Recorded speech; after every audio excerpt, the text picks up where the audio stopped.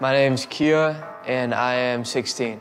I'm interested in filmmaking and just drawing. So my name is Kainoa Parker, but I go by Kai. I'm about 16 years old as of right now. My name is Lev Kaim and I'm 14 years old. My name is Zoe and I am 14 years old. My name is Anthony and I am 16 years old. I'm creatively interested in filmmaking and acting. I'm creatively interested in writing, dancing, filmmaking, and drawing. I'm interested in drawing, painting, and writing.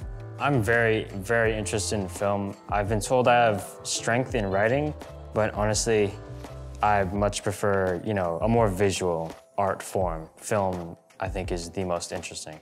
Baycat has taught me how to edit better, and it's inspired me to create more films and spread more word to people about different things. It's made me more inspired overall.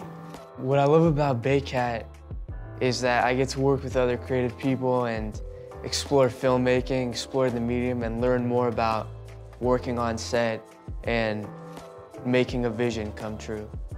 It has taught me how to use cameras, taught me the different jobs and roles in filmmaking. I think it's really great whenever, you know, a program brings teens, people my age, with the same interests together on a project where they can, you know, collaborate.